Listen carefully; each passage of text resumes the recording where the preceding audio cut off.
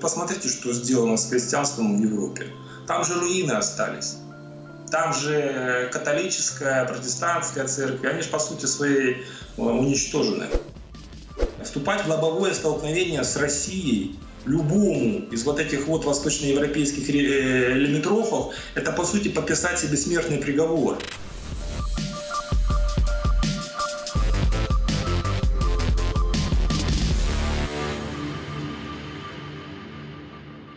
Андрей, здравствуйте. Да. Здравствуйте. Репрессии против э, священнослужителей и монахов Киево-Печорской лавры, они не только продолжаются, но и, скажем прямо, ужесточаются. Вот буквально на днях появилась новость о том, что в Киево-Печорской лавре собираются запретить разговаривать на русском языке. А как вы считаете, в перспективе это может привести к какому-то серьезному расколу уже не только внутри Украинской Православной Церкви, но и внутри украинского общества? На мой взгляд, э, церковная проблематика на Украине, она бинарна, скажем так. Она состоит из э, внутреннего фактора серьезного, да, влиятельного, и внешнего фактора. И только понимая внутренний и внешний фактор, и суть внутреннего и внешнего фактора, можно понять вообще, что там происходит сейчас. То, что, потому что то, что мы видим, это лишь последствия, следствие. И дело тут даже не в языке. Если говорить о расколе, то там раскол давно произошел и в обществе, и в э, церковной среде. Вот. И э, запрет языка э, русского в Лавре, он уже ни на что не повлияет. Давайте сначала по поводу внутреннего, внутреннего фактора, внутренней ситуации, которая сложилась в церковной сфере на Украине. Когда Украина провозгласила свою независимость, то основное э, содержание всей церковной жизни на Украине, оно, по сути, свелось э, к целой череде разноважных расколов. Э, почему это произошло? Давайте четко понимать одну простую вещь, я предлагаю что э, все церковные расколы, которые э, происходили и происходят на Украине сейчас, это не от Бога. Это, э, скажем так, от бизнес-интересов. Еще в, ю, в, ю, в юности у меня был друг, друг детства, который после школы пошел по церковной линии, стал священником, причем стал священником одной из раскольничных, раскольничьих церквей. И когда-то мы, мы с ним просто сидели в такой в приватной обстановке, беседовали, чай пили. Речь зашла о церковных вопросах, в том числе вот о расколе.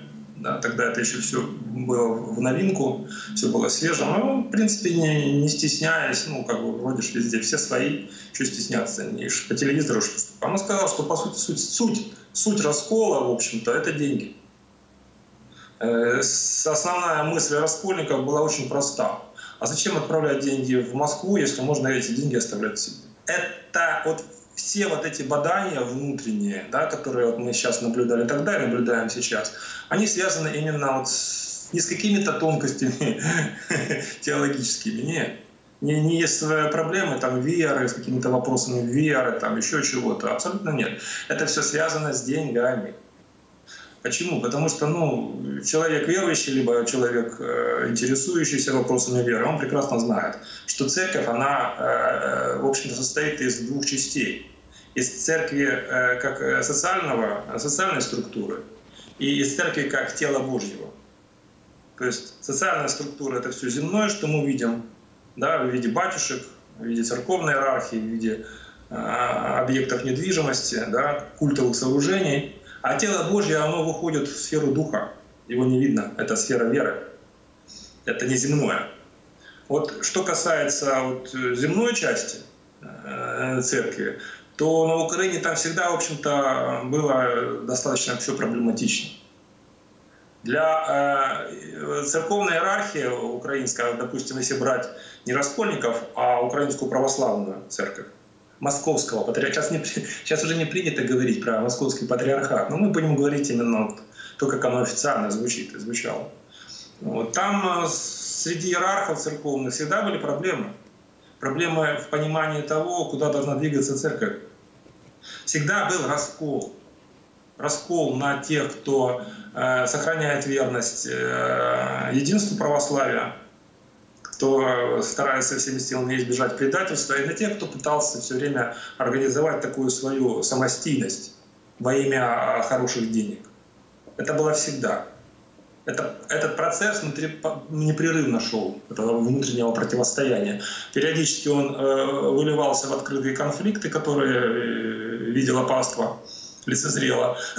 Потом он, эти конфликты затихали. Вот мы, мы сейчас, собственно говоря, подошли к новой фазе.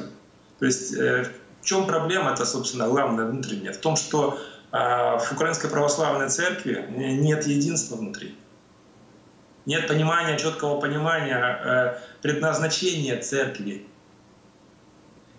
Там очень много людей, значительно, значительное количество людей среди высокопоставленных церковных деятелей, которые, ну скажем так, мягко говоря, к Богу очень небольшое отношение имеют.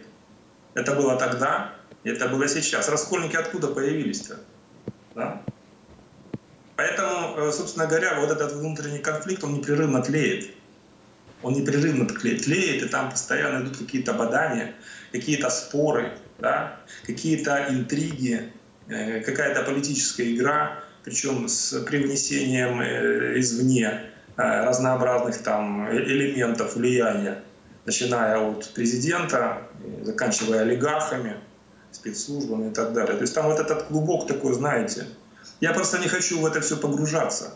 Кому, э, кто, скажем так, кого это волнует, они здесь сами это знают. А кого это не волнует, оно им, в принципе, не надо. Поэтому, собственно говоря, мы сейчас и наблюдаем то, что мы наблюдаем. Обратите внимание, э, когда э, началась специальная военная операция и до того, как там же постоянно перед ним стал, стоял вопрос ребром. Вы с кем, в общем-то, собственно говоря, де, де, деятели э, церкви? И вот деятели церкви, его, собственно говоря, вот пытались маневрировать изо всех сил. Пытались маневрировать, уйти от э, прямого, прямого столкновения с властями и так далее. Когда началась СВО, то э, пространство для маневра становилось все меньше, меньше, меньше и меньше. И церковь уже даже уже не маневрировала украинская православная, она начала приспосабливаться церковной иерархии. И произошел очередной раскол, тоже как бы уже такой, знаете, четко выраженный внутри Украинской Православной Церкви. Причем уже не только на уровне верха, но в принципе по, по всему, по всей вертикали церковной и, и горизонтали.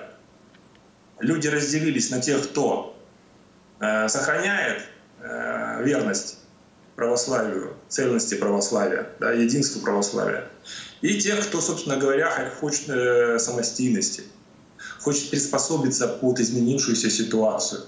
А подумайте сами, да, церковь, э, христианская церковь, православная церковь, она существует да, не одно столетие. То есть она существует века, и она наблюдала приходы и уходы разнообразных государств. Она наблюдала э, рождение и исчезновение разнообразных народов она стоит за рамками вот этой вот земной суеты, да, по сути своей. Потому что, ну, если, допустим, исходить вот из церковного метафизики, то церковь, она вечна, как Бог.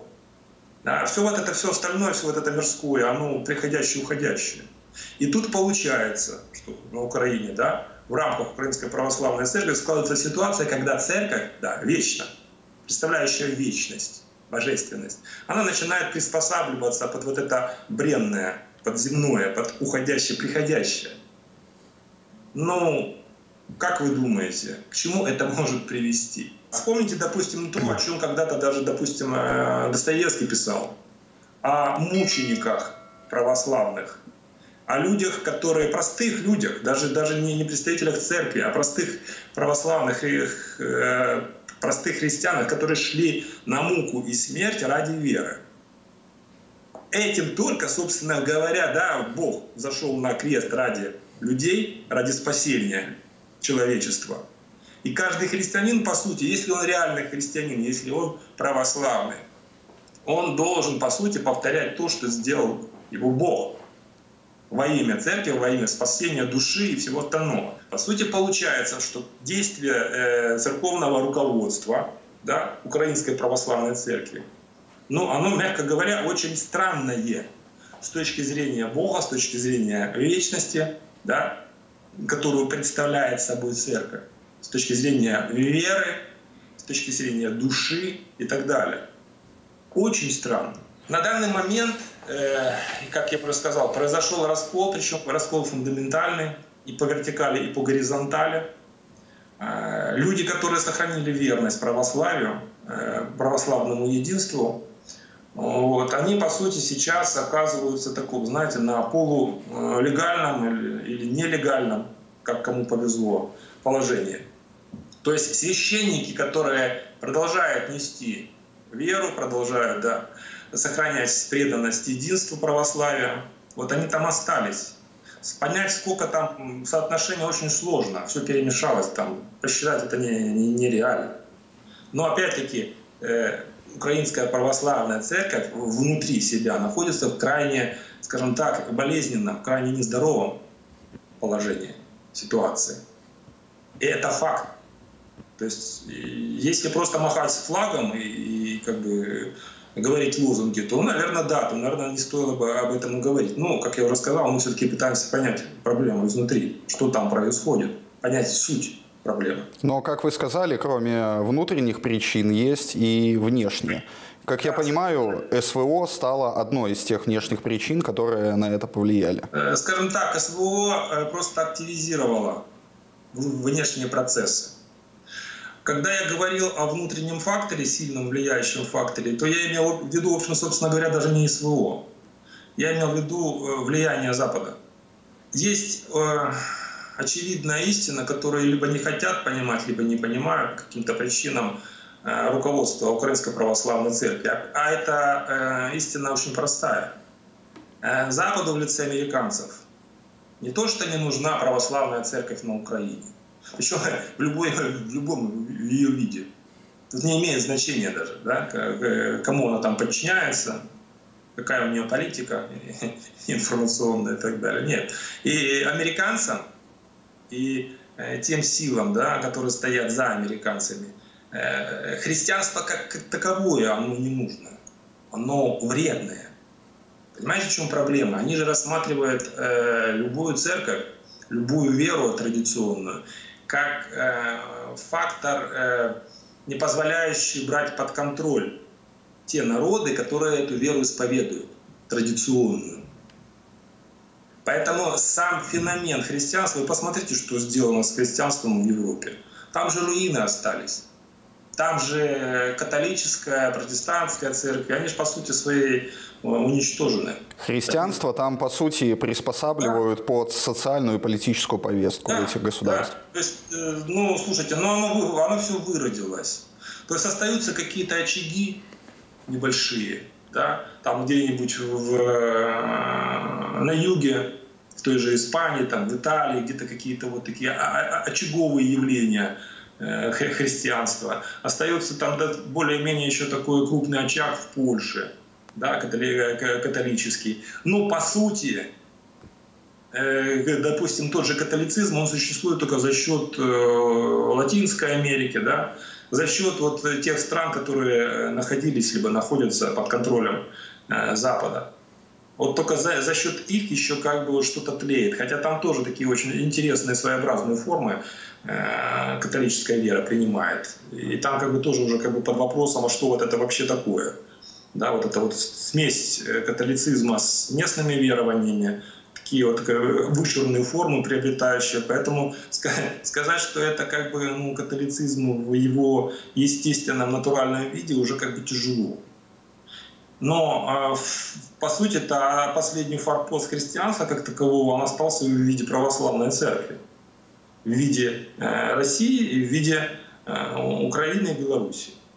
Вот как бы три страны, по сути, вот, где все остальное, там все вот эти вот греческие проявления а, православия, там, вот, вы понимаете, о чем я. Это все такое, это все давно уже подходится под американским контролем это э, элементы информационного воздействия, информационного контроля, но это уже не церковь, это уже не вера. И по сути своей, и по количеству верующих и так далее. То есть получается, что, собственно говоря, американцы сейчас вот в сфере духовной, в сфере э, психологической, они оказались перед мощным барьером в виде православия.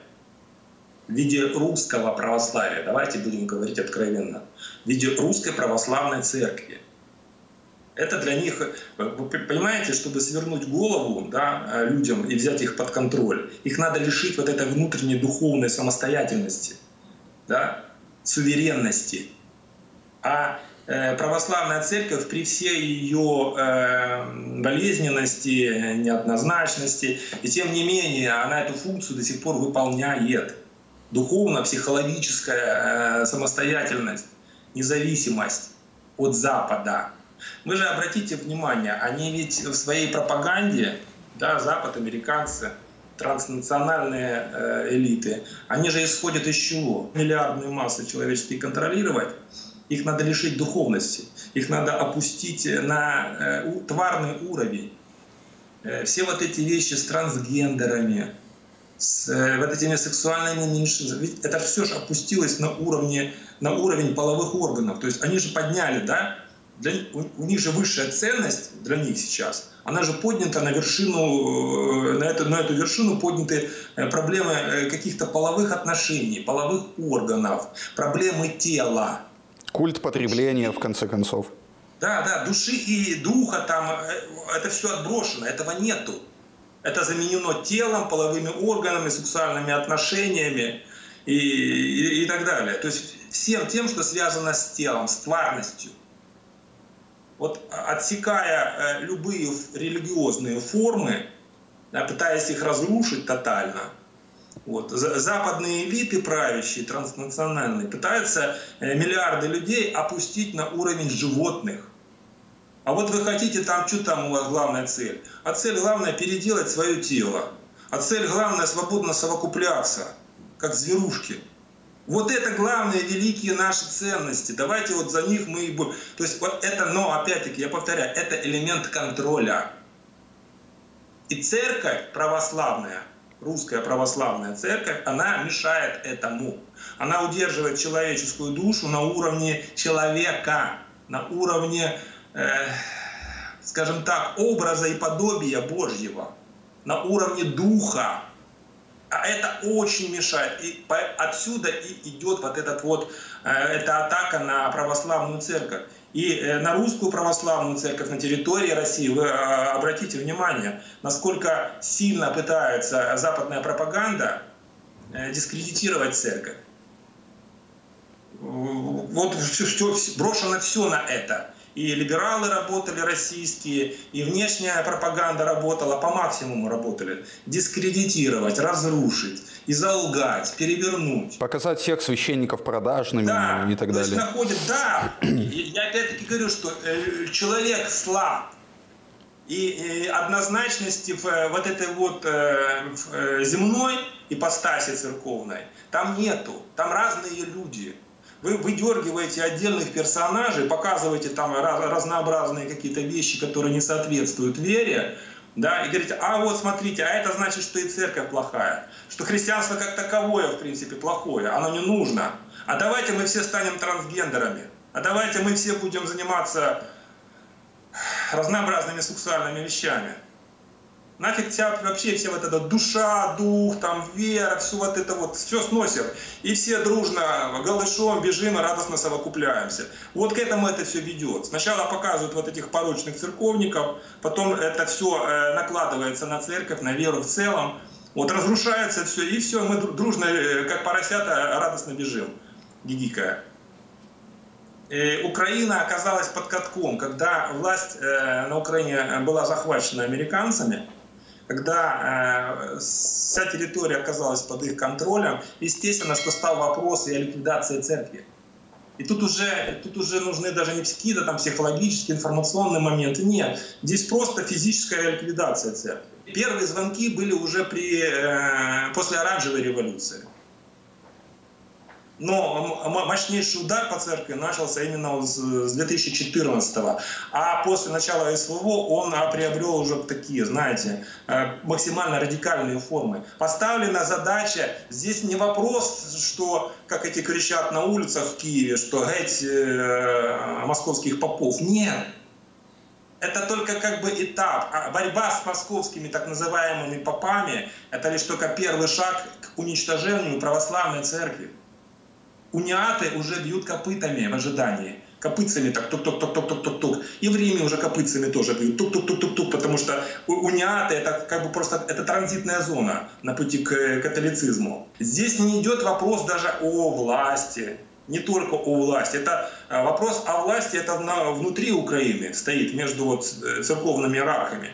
Кто будет контролировать, кто будет получать денежки, там, и как бы они же смотрят, в, много, в значительной степени многие из них смотрят на э, церковь, это как на такой большой серьезный бизнес-проект.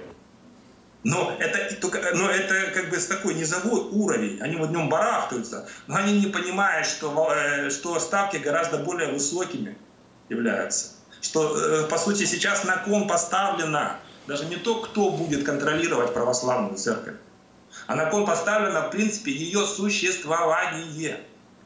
Вот в чем проблема. Под видом борьбы с так называемыми московскими попами сейчас начинает э, э, развернут механизм ликвидации православия как такового. Вот суть происходящего там сейчас и силу внутренней своей ослабленности, да, в силу того, что э, вера как таковая, да, истинная вера, она, скажем так, немножко сдвинута в сторону, а идет бурление, вот это вот телесное бурление, направленное на какие-то там выгоды материального плана, да, вот происходит, по сути, рас, раскол и, и, и развал церкви как таковой. Да, изнутри идут удары мощнейшие, да, физического плана, но ведь идет моральный э, распад внутри церковной структуры. Вы же обратите внимание, опять-таки, я рассказываю то, что я слышу оттуда, то, что мне люди оттуда рассказывают, с Украины.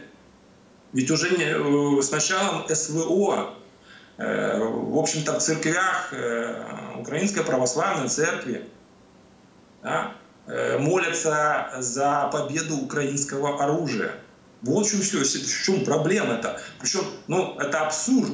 Они молятся даже не только за, допустим, там СВОшников, да, за православных э, солдат украинских. Они молятся и за нацистов. Они молятся за Азов.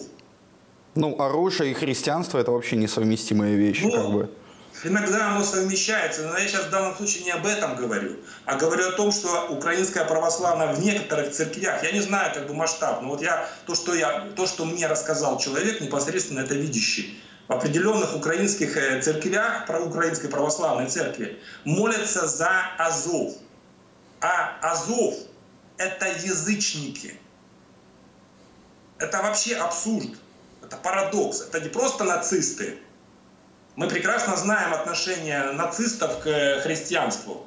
Как Гитлер это все воспринимал, мы прекрасно знаем, национал-социализм. Они да? котируют руны нордические и так далее. Ну да, есть такое. Ну, то есть э, там, где существует национал-социализм, или как на Украине говорят, социал-национализм, да, они немножко название переделали.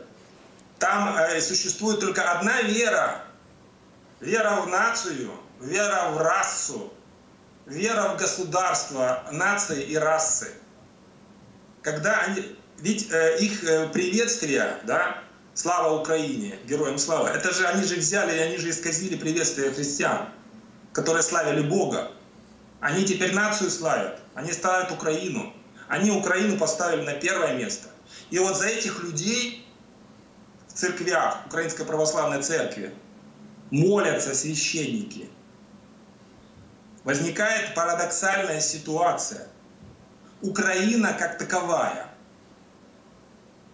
является механизмом ликвидации православной церкви и православия как такового.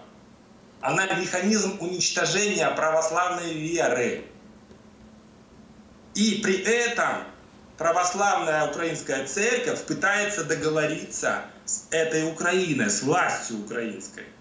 Она пытается маневрировать она молится за победу вот, этого, э, вот этой вот Украины, которая, в принципе, уже подписала посмертный приговор православию на Украине.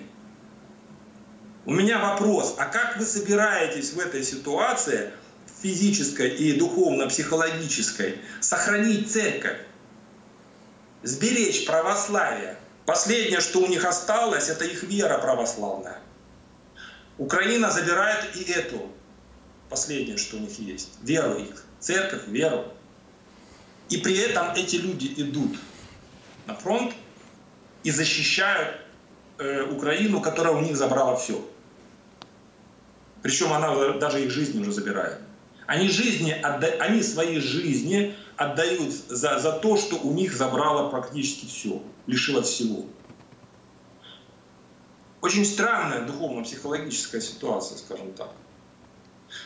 И при этом э, кто-то там на что-то надеется. То есть для меня это немного странно все. Мне просто живо вспоминается цитата Зеленского, который в Польше сказал о том, что в будущем между нашими государствами не будет существовать границ. Ну, может быть, он имел в виду и веру ну, в том числе. В комплексе имел в виду. Э, поляки что они же как бы тоже копытцами стучат. Им же тоже кажется, что вот сейчас они сломают православие и прибавятся католиков.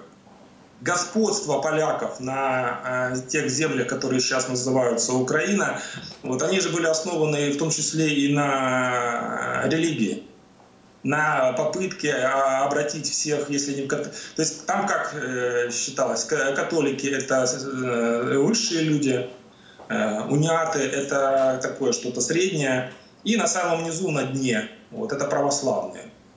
Восстание э, Хмельницкого, допустим, если брать, да, антипольское, оно же в значительной степени опиралось именно на пафос религиозный. Именно на то, что у православных людей Малой Руси да, пытались забрать их веру, униаты и католики – ведь э, там же страшные вещи творились, когда вот это восстание началось, и оно охватило всю э, Малую Русь. Там же страшные вещи, там же как бы, что там с католиками делали, что там с панством делалось. Там же, по сути, эта война шла в большей степени, она была не сколько политическая, сколько религиозная. То есть, с одной стороны, э, казаки хотели э, привилегий, вот, а с другой стороны, православные хотели, чтобы католицизм их не угнетал и не давил не уничтожал их церкви, не захватывал и так далее. Вот на, это, на, на основе вот этого всего, собственно говоря, тогда все и началось. И тогда Польша, собственно говоря, и потеряла вот эти территории. Именно благодаря вот всем этим вещам. Мне кажется, сейчас, благодаря вот этим вещам, которые происходят в Украине, у Польши как раз-таки повышаются шансы эти территории вернуть. На мой взгляд, поляки переоценивают свои силы. Э, когда-то, опять-таки, ну, опять-таки, вот историческая ретроспектива, это касается и Беларуси, и Беларуси в том числе, да, вот они же когда-то очень сильно переоценили свои силы. И сейчас, на мой взгляд, поляки повторяют ту же самую ошибку. Они теряли свою государственность уже несколько раз. Именно на волне вот этих, э, этого слабоумия, своих вот этих амбиций, чванства э, национального польского, они уже несколько раз теряли свою государственность. И это ничему их не научило. И сейчас они опять э, с подачи американцев через фонды. Вот это вот э, между море, вот эта вот э, паранояльная их идея сверхценная.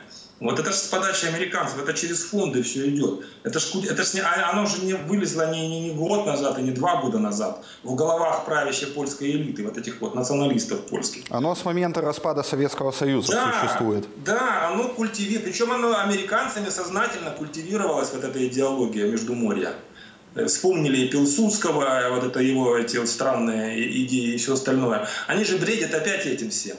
Они постоянно этим бредят они опять э, как бы видят в России своего смертельного врага. И здесь как бы ошибка точно такая же. Э, вступать в лобовое столкновение с Россией любому из вот этих вот восточноевропейских э, лимитрофов, это по сути подписать себе смертный приговор. Вот поляки же, они сейчас вот широко, широко открытыми глазами видят, что происходит с Украиной. Они это видят. И они радостно, повизгивая, ну, по крайней мере, вот, правящая элита и значительная часть общества, вот, в русофобском угаре, в ненависти к Белоруссии, да, к белорусам, которых они, как и, собственно, и украинцы считают своими холопами. Ну, они западную часть, вот, да. Вот эту всю историю. А давайте мы заново создадим Речь Посполитую, от, от моржа до моржа. А давайте мы будем панувати.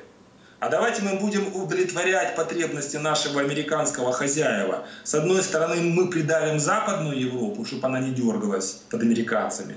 А с другой стороны, мы станем восточным валом западной цивилизации, э, цивилизованной Европы, будем останавливать вот эти вот орды орков, которые наползают на вот это, на эту э, прекрасную и великую Европу. То есть этот бред паранояльный. У них, у, него, у них очередной приступ этого бреда. И у них не хватает мозгов понять, ребята, ну, просто вот, блин, вот остановите вот этот поток этот, э, этого бреда и посмотрите на Украину. Она же мыслила и мыслит точно так же, как и вы. Вы, один, вы, вы по сути, вот, э, у Польши, по сути, сейчас, это Украина Восточной Европы. Вот когда Украина вот настоящая, да, она будет вычерпана, а уже как бы осталось недолго, то как бы Польша, по идее, по логике американской, да, вот по тем планам, которые они строят, ну, Польша должна стать второй Украиной. Ну, ребята, ну включите вы мозг. Вы мечтаете о том, что, чтобы вам привезли ядерное оружие. Вы что, не понимаете, что если с вашей территории полетят ядерные ракеты, то ответный удар придется по Польше, по вашей территории. И если, допустим, да, вот сейчас на то, что происходит на территории бывшей УССР, да, все то, что там происходит. Это, как бы, так скажем так, это ведь э, Россия же бьет не в полную силу, потому что понимает, что это ее люди, и это ее земля. Да, ей потом придется, мозг. ей потом придется заниматься восстановлением этих территорий. Да, мы все равно придем, это наша mm-hmm. территория, это наши люди. Мы придем туда, мы восстановим им мозги, которые вы свернули, да, Запад, и мы восстановим эту территорию, мы это понимаем. Что будет через год, да, э, в плане работы российского ВПК и всего остального. То есть поляки даже об этом не думают. Вот у них есть это вот эта вот э, паранояльная вот эта вот идея э, великой Польши, ведможа до можа. И они вот этой, этой идеей бредят уже не, не первое столетие. А потом, когда теряют свою государственность, они разбегаются по Европе и, и десятилетиями исходят желчь относительно России, начинают придумать разнообразные русофобские сказки. Вот знаете, это по кругу такой получается, странный процесс. Вот эта паранояльная идея, о которой вы говорите, она напоминает мне вот эту вот идею Зеленского о возвращении Крыма. По-моему, что-то аналогичное.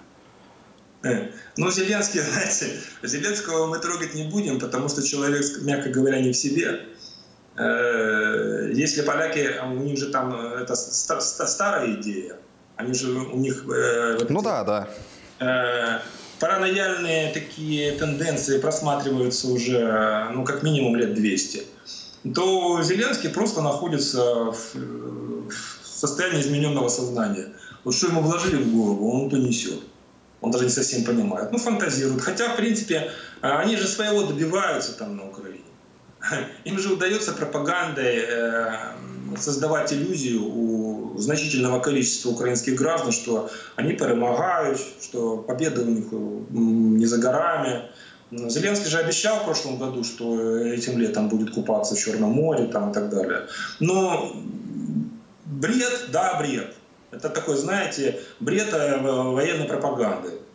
У поляков более тонкий бред – такой более э, изысканно интеллектуально, про, детально проработанный. Здесь как бы уже такая более серьезная клиническая ситуация. Ну, польские политтехнологи поинтереснее работают, да. Ну да, да, да. Ну там уровень-то интеллектуальный повыше. Ну, давайте э, называть вещи своими именами. Э, польская элита, это ее ж не... Чего ж мы будем сравнивать? Это то же самое, что сравнить, там, я не знаю, профессора с э, университета где-нибудь в городе с э, каким-нибудь свинопасом, который еще вчера не умел читать, а вот сегодня вдруг овладел грамотностью и прочел первую свою книжку. Ну или школьным физруком каким-нибудь. Да, да, да, да. Поэтому, естественно, но по сути, то есть по форме они отличаются, но по сути там различий никаких нет. Что ж, спасибо вам большое за эту беседу. Действительно было интересно, потому что такую точку зрения услышишь нечасто. И всего хорошего. До свидания.